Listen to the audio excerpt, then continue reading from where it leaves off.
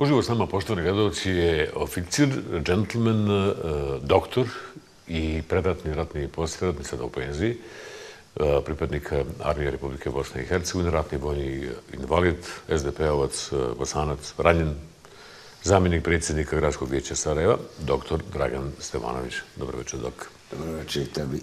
Možemo na ti, ali tako dugo se već komuniciramo i gledalacima televizije. Kako se? Podobar prema godinama. Bogati si ti ga zažalio što si ostao u Sarajevu. Jesi zažalio, zažalio kada? Ono poslije, trebao sam otići, mogao sam otići. A zašto bi zažalio? Nije puno sjajno ni vani. Moja djeca su vani, ovaj, žive možda u opuštenijoj atmosferi, ali to je borba za život svaki dan. Jeste. Olako, prelako, prelagano odla, odlaze ono kao idemo. Grlom u jagode. Nažalost, djeca koja su i situirana odlaze jer im je dosadilo da žive cijelo vrijeme u okruženju u kojem se neko s nekim prepucava, znate, i ne zna kako će mu biti sutra i da li će se nekoj budali past na pamet da izazove sukobe da bi ostao još koju godinu na vlasti.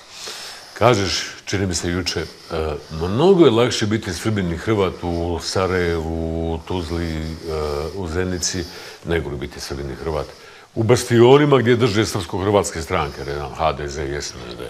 A to je apsolutna istina. Znači, Srbin i Hrvat koji se bori za cjelovitu jedinstvenu Bosnu i Hercegovinu, za Bosnu i Hercegovinu ravnopravnih građana i naroda je mnogo lakše biti u Sarajevu i u Zenici i u Tuzli nego što je to u Banja Luci i u Mostaru. Naravno. Ovaj, a ja sam duboko ubijeđen da i u sredinama koje su Republika Srpska i Zapadna Hercegovina ima puno građana srpske i hrvatske nacionalnosti koji misle ovako kao i mi u Sarajevu, ali jednostavno ne mogu doći do riječi, odnosno strahovi i frustracije su zaista kod svih naroda posle svih ovih dešavanja previše velike. Zvali smo te, a uvijek te zovemo Maltene iz jednog istog razloga, a to je, to su nekada u partiji zvalo, pošto ne trugarska samokritika. ali si vrlo, vrlo, vrlo objektivan kada je SDP u pitanju. Kažeš sada da je SDP dugo godina griješio pod vodstvom Lagumđije i sada se s teškom mukom i dosta sporo uh, ispravlja, ispravljaju se te greške. Uh, u tom griješe i ljudi koje svakog na svoj način cijenim. I Željko Komšić, Damir Marijanović i Zlatko Miletić. O čemu je to pogriješio SDP? Evo sad nakon izbora. A, Da se malo vratimo samo na Zlatka, mislim, ja Zlatka izuzetno cijenim kao jednog vrlo vrhunskog intelektualca, ali nažalost Zlatko je takav tip da nije timski igrač i to neće nikad biti i tu imam otpora, jel? A ono što smo osam godina propustili u SDP-u za vrijeme predsjednikovanja Zlatka Lagumđije jeste da proširimo socijaldemokratsku partiju upravo u ove bastione u Republiku Srpsku i u Zapadnu Hercegovinu, gdje smo imali ljudi koji su gurali, sjetite se samo popa, sjetite se flete. Ja sam pomenio, nije ga niko pomenuo, nažalost, ne znam, deceniju. Za to vrijeme smo izgubili gotovo sav život u partijskim organizacijama i ljudi u Republici Srpskoj i u Zapadnoj Hercegovini. Sad se to s mukom vraća minimalno, užasno teško ali se vraća. A ja lično mislim da socijaldemokratska partija ne može postojati kao partija ako ne ima, nema organizacije i u tim dijelovima i tu vrstu građana. Odnosno i taj dio građana Hrvatske i Srpske nacionalnosti, bez obzira koji je to broj. I trenutno to je jedina partija koji to, to pokušava na svim prostorima Bosne i Hercegovine. Znači, na neki način ljepilo koje lijepi ovo sve što je u Bosni i Hercegovini rastureno. Naravno, izuzetno teško, uz puno kompromisa, ali to je to. I to je osnovna greška onog partijskog rukovodstva na čijem je čelu bio Zlatko Lagumđa. Znači, šta koristite premalo, rijetko? Neko će reći, nije to baš tačno da je SDP najstarija politička organizacija u Bosni i Hercegovini. Ali kroz ovaj, onaj format, računajući i komunizam i sve, suštinski, suštinski jeste, a to recimo ne koristite. A evo mi ovako naj, najdirektnije dok U čemu sada je pogriješio ili griješi Nikšić i u čemu griješi SDP? Kada je formiranje vlasti u pitanju, dakle, znaš na što mislim. Osmorka koja postaje šestorka, sada ova trojka neka neće, pa hoće, pa je opet došla, došla informacija ZNG, SBIH i, i, i, i uslovljavaju SDP da ćemo ti potpis, ali da, ti, da je to programska koalicija od urada. A ja sam to sarkastično napisao na jednom mjestu da je u koalicijama i u braku otprilike ista situacija.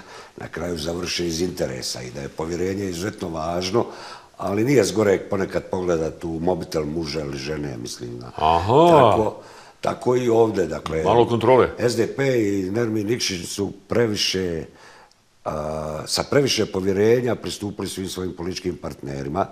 Ovaj, kao da ne znaju s kim imaju posla, mislim, da je većina tih političkih partnera bez ozbiljnog političkog programa i ideje, nego je vješt politički igrač na političkoj sceni za koju poziciju više ili manje. I naravno da su u takvoj igri sa povjerenjem bez čvrstih dogovora ovaj, na neki način politički izigrani, što se vidlo sa ovim delegatom u Domu naroda, parlamenta Zvuči jednog da, i drugog. Da, da ste malo naivni ispali, neiskusni politički, ne znam kako bi to rekao. Nikšić to malo objašnjava čak, ne, Vojin je objašnjava Nikšića, malo njegovom dobrotom Nikšićevom. Ma, u policiji nema dobrote, mislim. Igraju se čisti računi. Evo i ova današnja objava, mislim, ok, to je lijepo. Ja mogu tako pričati. Koja? O, ova, ovaj, tri stranke koje su u, u sastavu Smorke, uh -huh. NESA, stranke za BiH i ZNG. Ovaj, ja mogu tako pričati godinama, mislim, lijepo će to biti za građane Bosne i Hercegovine, svi će mi aplaudirati, volit će me, znate, ali Bosna i Hercegovina od te priče nema ništa. Dakle, da li ste vi do za ovo vrijeme formiranja vlasti vidjeli i jedan objavljeni, ozbiljan politički program unutar Osmorke ove trojke koja sad prigovara što nema političkog programa. Čak, da li ste... čak nismo vidjeli ni onaj koji je potpisan. Dobro. to je bilo programska dakle, koalicija. Da li je javno objavljeno stranka za Bosnu i Hercegovinu neće koalicijsku vlast na nivou federacija ako u tom programu ne bude to, to, to i to. NES također, ZNG također. Ja to nisam čuo. Ja bi tad vrlo potpisao ovo što su oni danas ovaj objavili. Mm -hmm.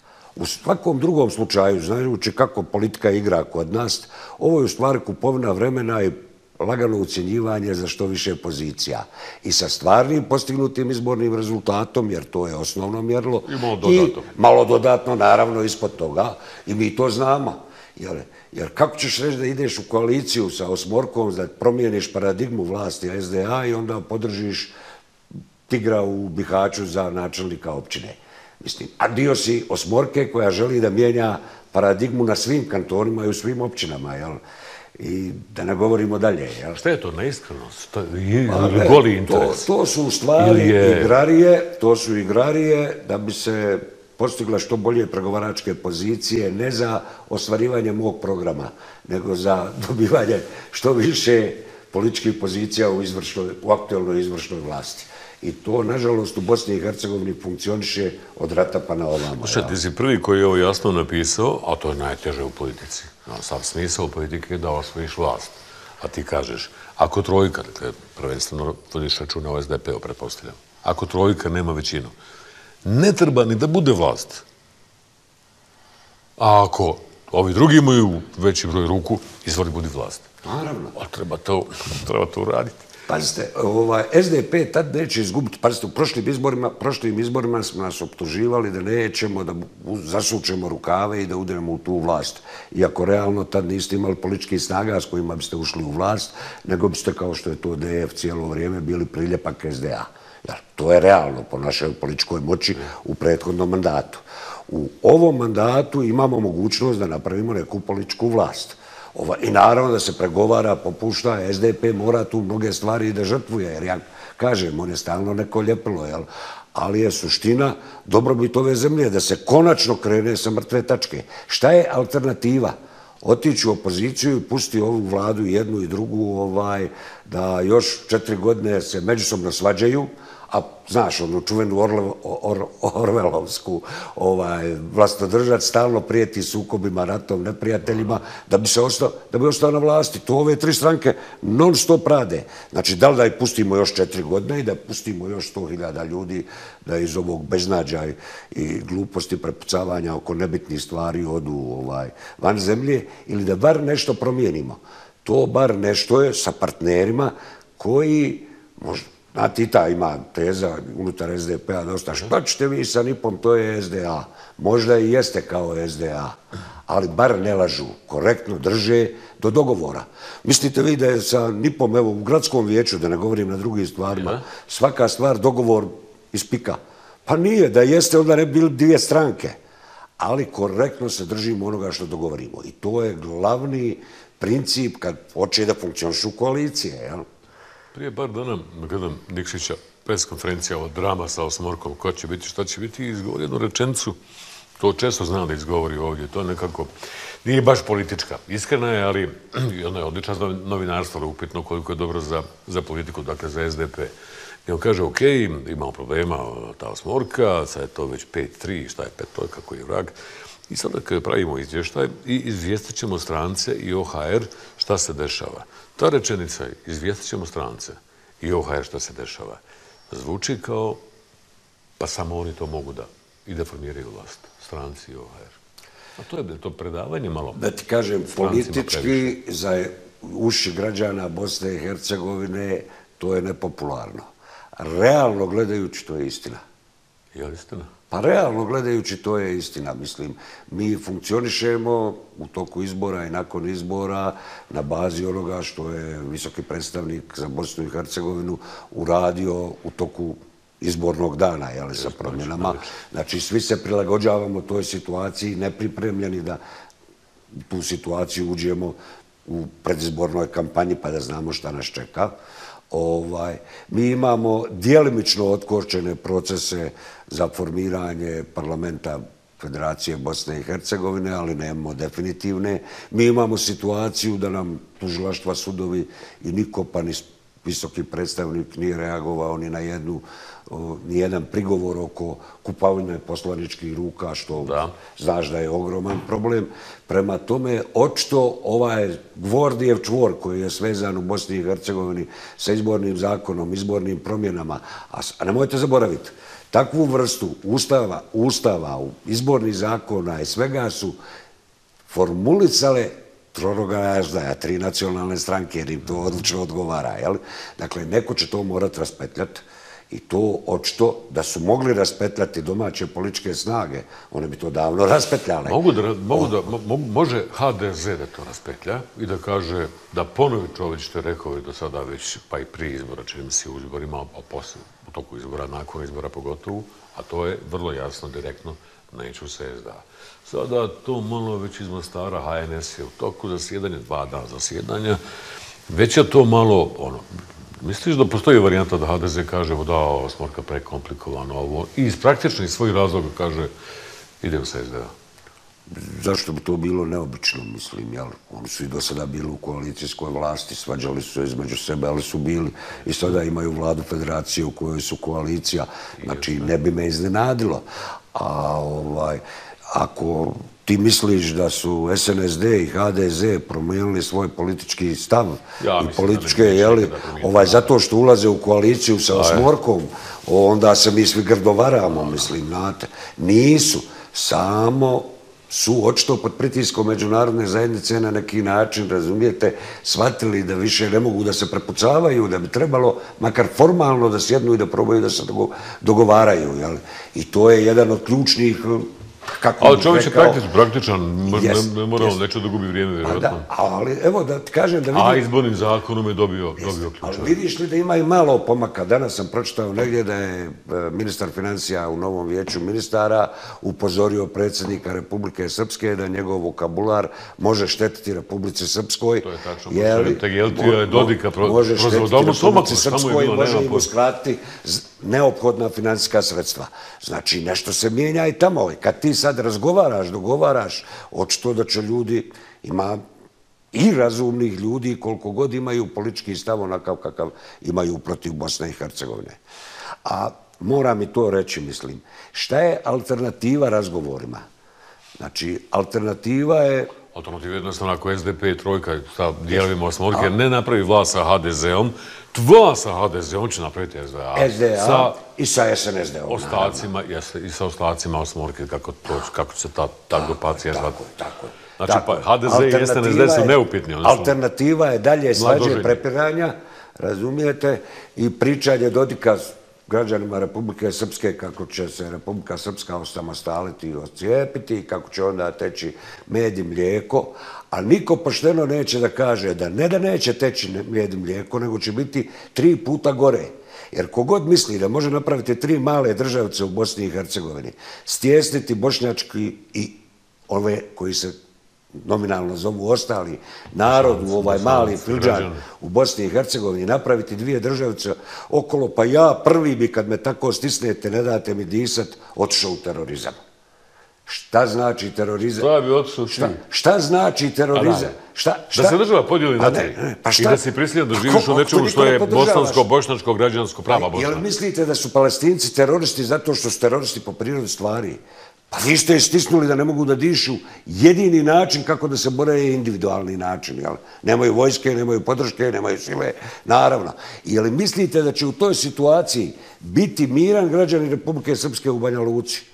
Pa neće. Iće mu djeca u blindiranom automobilu u školu. Razumiješ? Biće eh, od svake kese na ulici se plašiti. Hodaće kalašnikovim. Ma neki pošalju samo deset dana na studijsko putovanje u Izraelu, u Palestinu, da vide kakav je to život kad se svađaš sa svojim susjedom, a kad ne pokušavaš da riješiš konflikte na miran način. Ako takav život žele svojoj djeci, pa, pa ja mislim da niko ne želi, niko na ovim prostorima ko je razuman. Prema tome, Dodik treba da im i to kaže, da neće ništa ići milom, da će izazvati takva vrsta ocijepljenja, sukoba, upravo takvu reakciju. Mislim, Naravno, Dodik to neće da kaže, bolje da i praši neprijateljima da još četiri godine živi na vlasti i onda će otići u političku penziju, nadam se, jer je i on dovoljno star. Doktore, mi tebe zovemo u emisiju, uglavnom, zbog tog tvog potpuno open mind, neki otvoreni mozak i vokabular koji ti je znao da, da, da, da zaboli. Imaju tu i verbalno nekog egzibicionizma, kako bih rekao. A dobro, ja mislim... Ali sada si rekao nešto što je... Ali to je realnost, politička. Prejako, prejako. Ali to je politička realnost. Kako mislite od jedne zemlje u kojoj ljudi žive zajedno toliko vremena, pa bez obzira u kojim su dijelovima, razumijete, odvojiti komad i napraviti od toga posebnu državu, pa drugi komad, pa treći komad i da oni koji su ostali ucijepljeni između dva ekstremna nacionalizma koji su u suštini osnovni problem što Bosna i Hercegovina ne funkcioniše, nisu građani Bosne i Hercegovine, nego apetiti dvije susjedne države, naravno. To je sto godina tako od formiranja Kraljevine Jugoslavije. Jel? Uvijek se srpska hrvatska buržuazija svađala među se u toj Jugoslaviji, a jedino su bili saglasni da Bosnu i Hercegovinu treba podijeliti između sebe. A ako se svađali, svađali se u kojem omjeru, naravno. Jel? Dakle, kako misliš da će taj narod živjeti mirno, pristati da ga gušiš, stišćeš i tako dalje i da je baš ništa ne poduzme? Nema vojsku koja se može oduprijeti, nema podršku međunarodne zajednice, nema podršku strucije da Pa hajde, razmišljajmo realno. Šta će uraditi? Što su radili palestinci to što rade? Što se je razmahao tamo Hamas i ovi? Kad je PLO izgubio svaku podršku od međunarodne zajednice i nastavilo ih se zbijati u sve manji i manji geto. Jel? To je teška priča. Pa, vrlo teška priča, ali ljudi neće da kažu ljudima kad odlučuju kakva ih može sudbina sačekat. Kakva bela je može. Jeste, nego im prodaju muda za nešto drugo, odnosno bubrege za nešto drugo. bubrege, bubrege. ja. Kako si da emotivan kad, kad govoriš o tome? Pa, pa zato što me je strah takve situacije. Znači, ja sam siguran da 90% građana Bosne i Hercegovine, gdje god da živi, u kojem god entitetu, ne želi takvu sudbinu svojoj djeci. Jer je ne želim ja. Jedan rat smo prošli pa je trajao četiri godine. Ali zamislite živjeti u jednoj zemlji naredni 40, 50, 100 godina na takav način da svaki dan gledate iza čoška, hoće li vam neko drugi baciti bombu ili neće zato što je nezadovoljan političkom situacijom u tom ili susjednom dijelu zemlje. A mislim, prema tome svako ko je razuman, koji ole voli svoj narod, će ići ka putu dogovaranja, razgovaranja. Razlike su velike. One su posljedice strašnih frustracija sva tri naroda na području Bosne i Hercegovine iz dva rata, pa ako hoćete i prije. U ovom zadnjem je najviše stradao bošnjački narod. U onom prošlom je, Bogam, po dobro stradao i srpski narod. I svi se vraćaju, umjesto da to na neki način prevaziđu u neke retrogradne periode kad su oni bili dominantni. Srbi u Kraljevini Jugoslavije, Bošnjaci u osmanski period, Hrvati u NDH. Mislim, ali to vidite da nije donijelo rješenje, mislim. Rješenje je nešto drugo. Rješenje je očito za mnom bih ili, kako reče mudri profesor Duraković, novi bosanski sabor, hajmo napraviti temelje nečega što je zajedničko i što je moguće. Jesi li za to? Jesam. Jesam. Pošto je, pošto je dođe, ako ste zaboravili, akademik je sad Duraković odiznio tu ideju, nije nova, to je sad je malo bolje upakovao, ali je više dovoljno upakovao da je, da, da je baci na tržište, tako da kažem, po znacima navoda, u javnost, na neko intelektualno tržište. A to je bosanski, bosansko-hercegovački građanski sabor. Šta je tvoja vizija toga? Kako bi to trebalo da izgleda? Pa ti kažem, tako je to. Osnov jeste, zavno bih možda se nešto u temelju mora, ne u temelju, ali u izvedbenim postavkama promijeniti jer je ovaj okolnosti su takve, ali osnov jeste mogući jedini zavno bih. Dakle, kad mene pitaš, ja jesam realan, mislim, neko nekad kaže, daj, da se mi pobrišemo pa da budemo bosanci, mislim, to se... Narodi ostanu, divna ideja, ali to ne negira građansko. Divna ideja, divna ideja, ali dajte, molim vas, kako ja mogu nekome ko se ošća Srbinom, Hrvatom ili Bošnjakom reći, e, hajde, molim te, budi bosanac ili budi, nemoj biti Srbin, nego budi pravoslavac, tako dalje. To je kategorija koja je lična. Ovaj, ali je suština da je unutar toga, čak i u Daytonskom sporazumu, Ustavu, a da ne kažem uz njegovu nadgradnju, možemo mirno i pristojno živjeti. E sad, ako mene lično pitate zašto sam više za građansko ili za ovo kolektivno, razumiješ, ja sam za građansko, zato što ako mi... Ako mi, to teško objasniti ljudima. Ako mi građan, garantuješ sva ljudska prava, ali i stvarno garantuješ, ne da ih formalno garantuješ, zna, što od vjerskih, etničkih, spolnih, ovih, onih i tako dalje, onda sam ja sadržan kao pojedinac i u tom kolektivitetu.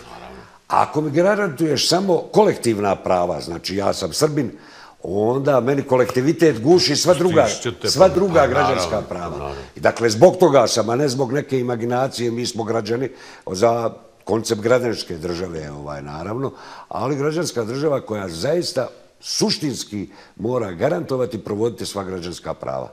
Znate, ovo što sad imamo kroz ovaj tronacionalne stranke, mi imamo gori jednopartijski sistem nego u vrijeme Saveza komunista. Jer sve ono što su radili u Savezu komunista, na subtilniji način ovi rade užasno grubo unutar svoj. Pa ovaj mi kaže, znaš, nisi se mogao započeti ako si bio vjernik.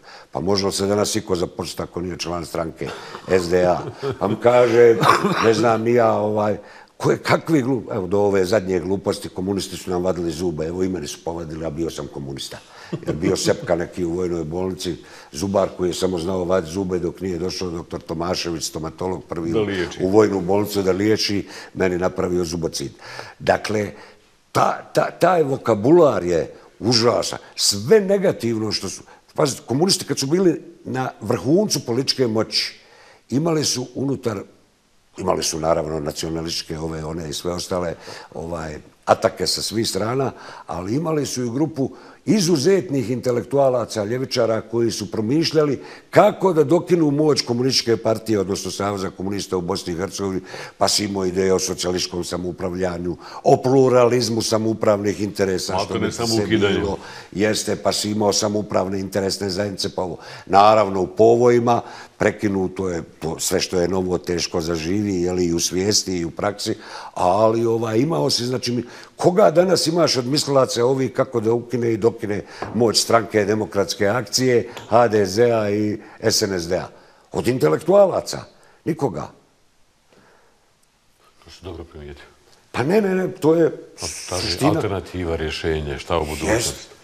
Šta može sada da se desi? Imaš neki savjet javni, mislim, za SDP ili govoriš to, ili je to do SDP-a, ili da li možete, uopšte može SDP trojka da nešto naprave, da bi napravili novu federalnu, federalnu vladu? Ili, ili misliš zaista, to mi to još niko nije rekao, uzmi ili ostavi, ili formiraj, ako možeš da formiraš, prebrojite se koliko ima ruku, može, može, ako ne može, Ja mislim da će se formirati federalna vlada na isti način kako i da će svih osam političkih faktora koji su Mislim trenutno... da će. Da će oni biti Šta, u ono, vlasti. nabijanje cijene, Da će nabijanje. biti u vlasti. Pazite, nikom se ne isplati da to ne uradi.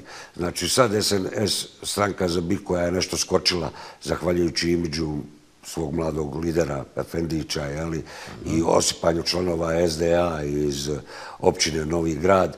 Ovaj, Dakle, sad nek ode u koaliciju ponovo sa SDA, ona na sljedećim političkim izborima neće biti partija. to vidio, to je. Sad Ne nek ode, ta strana. sad nek ode za nove generacije također u to krilo, razumiješ, neće ova. Sad nek ode SDP u to krilo, neće. NIP neće nikad ni moći. Znači, to su iluzije. Ovo je utvrđivanje pazara, što bi rekli moji stari, ili Hercegovci su to rekli još što ne mogu kuka na kanafi. To ne mogu kuka na. Da, ja. Ali ipak to je suštinsko pitanje. Da li je moguće da SDP uđe sa SDA u vlast? Pa mislim, To je ključ. mislim da dugoročno gledam. Sada Nikšić i SDP ima alibi. Kaže, ova sad mora kad ovdje mi više ne mogu pre, previše kombinacija ovo ono i sad nema drugog izbora, ima HDZ, SDA i uđe. E, o- ova izjava koju je dao poslije onih razgovora sa Osmorkom je u stvari jedan taktički potez kao što je i ovi iz, iz SNS, iz stranke za BiH i i tako dalje. Evo, gospodo, da vidite da mi to možemo, mislim, i bez vas, na drugačiji način. Ali kako se ne isplati ovima da to urade, SDP-u se još manje isplati, znate, i kratkoročno i dugoročno. Ono što je najgore u toj situaciji socijaldemokratska partija gubi ono što je glavna karakteristika. Multietičnost i pokušaj da ne bude isključivo bošnjačka, iako je realno gledajući po broju članova unutar SDP-a najveći broj članova bošnjaka ili ostalih. Jedan procenat je na Srba i Hrvata, jel tako? Ali i toliko koliko nas je, mi se na neki način širimo u Republiku Srpsku i u ovaj, zapadnu Hercegovinu i to je izuzetno važno sa perspektive. Kad bismo se sad vratili u krilo SDA i ono ljudi koji su ovaj, nam vjerovali, bi odustalo od nas i reklo, ma to je bošnjačka socijaldemokratska partija. A pazi, i to moram reći. Znači, bošnjačka socijaldemokratska partija je nacional-socijalistička partija. Znaš šta je skraćenica iz nacional-socijalistička? Znači, to već nisu socijaldemokrati. To je Milorad Dodik. Socijal, na, Srpska socijaldemokratska partija je nacional-socijalistička partija. Ima malo br brkića tu. Pa da, pa ne, ne, mislim, moramo to reći. Ovaj, ljudi, ljudi, ljudi počesto i u SDP-u ne znaju šta to znači, mislim, jel? Ova godina za SDP je vrlo, vrlo ovaj, možda čak i presudna. Stranka se probudila, pobjeđuju, najbolje od, od, od, od ovih osam. E, ove godine je izbor, e, izborni e, kongres, bira se. Trebalo bi da Nikšić ode po statutu, a možda ostane i to. Ili vrijeme bit će direktan, ali vrijeme da predsjednik SDP-a bude Hrvat, ciljano Hrvat ili Srbin, ili da ostane Nikšić jer je takva godina vanredna, ili potpuno neko novo lice. Dakle, što se tiče socijaldemokratske partije, vrijeme je da lider socijaldemokratske partije bude neko izuzetno promišljen, ugledan i ko ugled uživa povjerenje prvo članova socijaldemokratske partije, pa onda i ovaj građana koji su naši simpatizeri. Imate li ga? Hoće li to biti Bošnjak, Srbin ili Hrvat, za mene lično je ovaj, manje je bitno. Ono što mi je izuzetno bitno, to je da to bude lider koji će na bolji način od Nermina organizovati unutrašnje ustrojstvo partije. To zamjeraš nešto? Da, jeste. Dakle, Nermin? Nermin je izuzetno doprinio socijaldemokratskoj partiji time što je demokratizirao. Što je onaj Zlatkov ja i ja, pa svi onda ostali, jeli, ukinuo. To što i oko njega ima takvih kadrova koji su se vrtili oko Zlatka i samo gledaju šta će reći predsjednik, je bolje socijaldemokratske partije, pa i svih partija, ako ćemo iskreno. Ovaj, ali je vrijeme da socijaldemokratska partija inovira svoj statut, da mnogo više značaja da političkim organima, a ne predsjedniku, to znači glavnom odboru, predsjedništvu, sekretarijatu i tako dalje, ne samo na nivou centrale, nego i u kantonima. i da se bez obzira na političke okolnosti e, rasprave žestoke pa i suprotstavljene vode unutar organa, a onda se izađe sa nekim stavom, što bi rekli onda Savezu komunista, demokratskim centralizmom. Ja nisam za to da politički oponenti aktualnom rukovodstvu budu isključivani iz partije. Naprotiv, zato sam da diskutujemo do besvijesti, isključujemo i samo u onom momentu kad očigledno krše dogovore koje smo posle žestokih diskusija ovaj, napravili. Znači, e, toga fali u SDP-u. Fali zato što nam je sastav glavnog odbora, nek mi ne zamjere kolege, nedovoljno borben, nedovoljno intelektualan i nedovoljno samosvjestan da ne mora da samo gleda šta će predsjednik reći. Nedovoljno. Ovaj, što nam je takvo i predsjedništvo, imao sam prilike da pristujem samo na dva sastanka i to se mora promijeniti. Ne smije SDP zavisiti od lidera, jer ako zavisi od lidera, lider se može prokliznuti, ali svi organi ne mogu. Dok ne sjećam se da je ne samo u emisiji, nego imamo, neko imao takvu drugarsku samokritiku, političku samokritiku, kritiku svoje stranke, kao što sam sada čuo od tebe? Pa mi jesmo jaka i zdrava partija i jesmo jedina šansa Bosne i Hercegovine. To ću u drugima govore. Vidi kaj, nemamo, loš smo glavni odbor predsjedništvo, nikako. Što, se, A ti što, što, mi, što mi priznajemo svoje greške, ali istoga i svoje slabosti.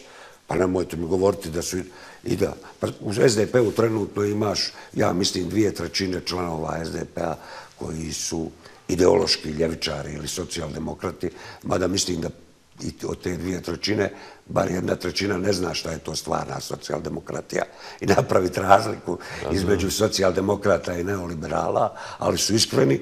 I imaš jednu trećinu ljudi koji su kontali da im je to najbolje mjesto da politički profitiraju. I to će biti u svakoj političkoj partiji tako dok imaš zanimanje političara. Za mene zanimanje političara ne postoji, postoji politolog, postoji čovjek koji se ostvario u svojoj struci i kao takav se bavi i političkim radom, pa bude i na nekoj političkoj funkciji, ali ne zavisi od toga hoće li na sljedećem mandatu biti ponovo izabran, pa onda samo gleda kako dići ruku da bi se umilio onome koji je u prilici da ga predloži, nego će se vratiti na svoj posao svjetla obraza, mislim. Za kraj da nekako zaključim, zvučiš mi kao optimista da će tvoja stranka da smo ipak napraviti vlast, ali na kraju objasnim, otpor SDA koja kaže to ako napravite bez SDA, bit će belaje političko. Pa ja sam neki dan na TV sad, kad je ovaj rekao, vidite, raspašće se i tako dalje, rekao što je babi Milo, to joj se isnilo. Znate šta sad SDA radi? Isto što Sanu. Sanu radi ovako. Bosne nema, bosanskog jezika nema, bosanaca nema, imaju Srbi, Hrvati, Bošnjaci, bosanskog jezika nema, ima bošnjački, Bosna i Hercegovina nije država, ona je sastavljena. E, a SD, i to ponavlja sto hiljada puta, uđe ljudima u uši, pa mislite, e, ješ, Boga mi je tako. Na, kralj Tvrtko je samo bosan, srpski kralj, a kralj Tvrtko je ujedinitelj koji je ujedinio Primorje, Srbe Donje i Bosance. Donje zapadne strane. Ma. Pa, I, I dobar komad danas, današnje Srbije. Kao Njemanjić jeste bio srpski kralj jer nisu imali bolje. Pa imao i po Šubićima. Nisu imali krvi, bolje pa su uzeli Bosanca, mm. bosanskog bana. Ovaj, A, dobro. Dakle, tako isto sad SDA, 333 puta ponavljam. Nema vlasti bez SDA, nema vlasti bez SDA. Ovo su izdajice. Čuj, bošnjaci koji nisu SDA su izdajice. Koji je to sad narativ? E, e, Dino Konaković je gavrao. Mislim, čuj, Bošnjak koji je vjernik, ide u džamiju, mislim, o, borac, ali nije, borac, ali nije onaj, nije u SDA, je izdajnik i gavro. Ovaj, dakle, taj narativ ovaj, će SDA odvesti def, definitivno u katarzu i vrijeme je da ode, ja iskreno se nadam da će iz toga izaći jedna mlada, zdrava, nacionalna, narodnjačka stranka bošnjačkog naroda koja neće biti... Ne doživljavaš to kao opasnost, tu prijetnju? Ne, ne doživljavaš kao, kao opasnost? Ne doživljavam. Ne doživljavam. Nema više političkih budala koji će krenuti da ginu za interese Asima i Asimovih jarana. Ovdje ti više priča o Bakiru i o Seke nego o Asimu. Pa dobro, Bakira i Seke, mislim, imali su politički penzioneri, kao i ja, vrijeme je da operativnu politiku pustimo. Svi imaju svakoj stranci koji su u vlasti, imaju prevelik ulog. Izetbegović više nema nikakvu funkciju, ostaje što je predsjednik stranke, ali može da vlada preko stranke. Ona, tako kažu da vodi tu stranku, normalno te svoje dvije pozicije. Dobro, jedno je dobila na izborima, legalno, sve je okej, a drugo je klinički centar, jer ne mora da se odrekne. A ti si ljekar i zdravstvo i to. Misliš da bi Osmorka kada bi osvojila federalnu vlast dobila, organizovala, kombinirala, da bi nešto uradila u zdravstvu ili uradila direktno sa doktoricom Izadbe? Ne znam, taj program ja nisam baš oduševljen ni onim što je trojka, kao trojka uradila u zdravstvu u kantonu Sarajevo. Ovaj, naravno, uz sve uvažavanje svih okolnosti koje su ovaj, bila od korone pa nasljeđa i tako dalje. I nadam se da će u naredne četiri godine u Sarajevu ta buduća koalicijona vlast uraditi mnogo više. Jer reforme u kantonu Sarajevu su nužne i neophodne. Sad smo napravili samo kozmetičke dok god se ne naprave reforme o pravom finansiranju i uključivanju pod istim uslovima privatnog javnog sektora u, u sistem finansiranja pod istim uslovima, mi nismo napravili ozbiljan pomak. Dogod zdravo zdravstvenog osiguranja kantona Sarajevo finansira broj radnika, broj kreveta, a ne stvarne usluge, nismo napravili pravi pomak u kantonu Sarajevo.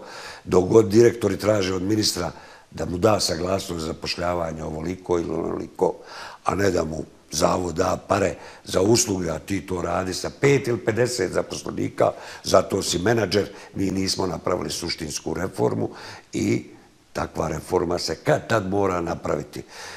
Takva reforma će rezultirati ostavkom ili smjenom ministra zdravlja na kraju, jeli, neće to ni dočekano, jer svi će izaći iz prava, i zdravstveni radnici, i osiguranici na odgovarajući način. Izgubit će neka prava koja misle da imaju, ali to je jedino što će ozdraviti zdravstvo. I to neko jedno mora uraditi.